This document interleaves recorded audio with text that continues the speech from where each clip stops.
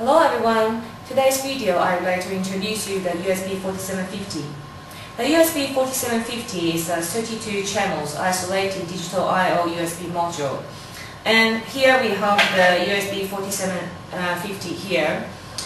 And as we can see, there's writing the uh, introduction. This is uh, data acquisition USB modules and with the 32 channels isolated digital I/O. And so we can see here we have 16 channels for digital inputs and the other side we have 16 channels for digital outputs.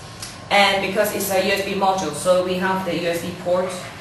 You can connect with the USB cable line, which is going inside the box with the product.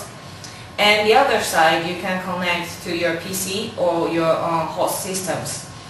And here we have the LED light shows the power on and off and this USB module is a bus powered system, so just after you insert the USB cable inside the between the PC and the USB module, it's already powered also. And also, uh, after we see the USB module, let's talk about some main features for the USB module. And we can see the USB module is very small and it's easily to carry, so it's portable and it's a true plug and play systems which make you easily to connect to your PC anywhere if you just carry the USB module with you. And also because we have we support the isolated digital I/Os, so we have high voltage up to 2,500 voltage isolation. Also high uh, sink current up to 100 mA per channels. And also we have totally 32 channels for the digital I/O.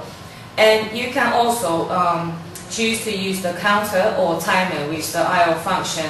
So this is uh, compatible to use as counter and timer and the resolution is up to 32 bit.